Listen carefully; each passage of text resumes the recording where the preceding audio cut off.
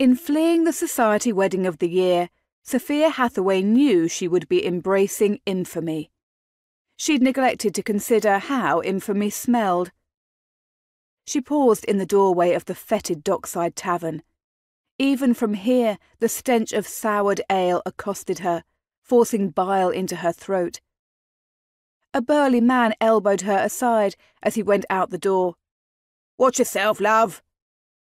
She pasted herself against the door jamb, wondering at the singular form of address implied in love. The man's comment had clearly been directed toward both of her breasts.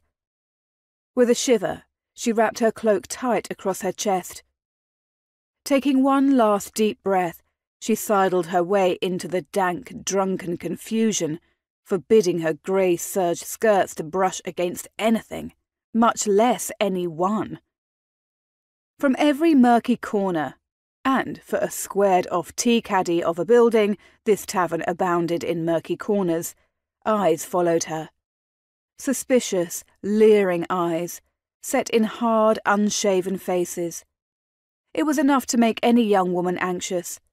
For a fugitive young lady of quality travelling alone under the flimsy shield of a borrowed cloak and a fabricated identity, well, it was almost enough to make Sophia reconsider the whole affair. An unseen someone jostled her from behind. Her gloved fingers instinctively clutched the envelope secreted in her cloak. The thought of its brethren, the letters she'd posted just that morning, breaking her engagement and ensuring a scandal of Byronic proportions, seeds of irrevocable ruin, scattered with the wind.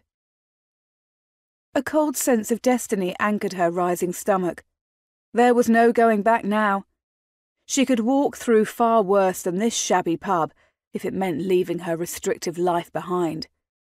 She could endure these coarse men ogling her breasts so long as they did not glimpse the secret strapped between them.